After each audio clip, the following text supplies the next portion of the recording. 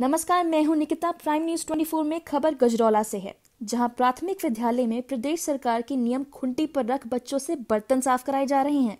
बेटी बचाओ, बेटी पढ़ाओ, आपने प्रदेश सरकार की इस योजना के बारे में काफ़ी सुना होगा, लेकिन एक प्राथमिक विद्यालय में इसका बिल्कुल ही उल्टा कर दिया गया है कि बेटी को स्कूल भेजो और बर्तन साफ़ कराओ।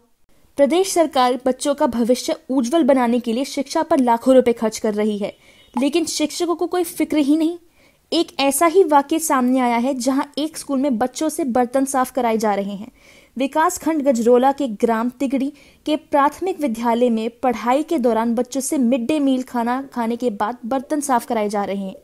इस संबंध में जब स्कूल के शिक्षकों से पूछा गया तो वह कोई ठोस जवाब नहीं दे पाए।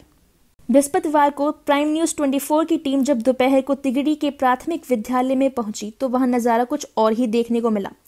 पढ़ने वाले बच्चे के पढ़ाई करने के स्थान पर हैंडपंप पर बर्तन धोते दिखाई दिए, जिसमें अध्यापिका बच्चों को बर्तन धोने का आदेश दे रही स्वयं खड़ी हैं। जो बर्तन बच्चे धो रहे थे, उसमें विद्यार्थियों ने मिड डे मील खाना खाया था। पूछने पर पता चला कि वह रोज़ाना मिड डे मील खाने के बाद बर्तन धोते थे। इस संबंध में जब स्कूल के स्टाफ से पूछा गया तो वह ठोस जवाब देने में नाकाम रहे। उन्होंने कहा कि हमारे यहाँ कोई सफ़ाई कर्मी नहीं है, इसलिए बच्चे ही अपने आप बर्तन धोते हैं। स्कूल के शिक्षक इस संबंध में कुछ भी बोलने से इनकार कर दिया।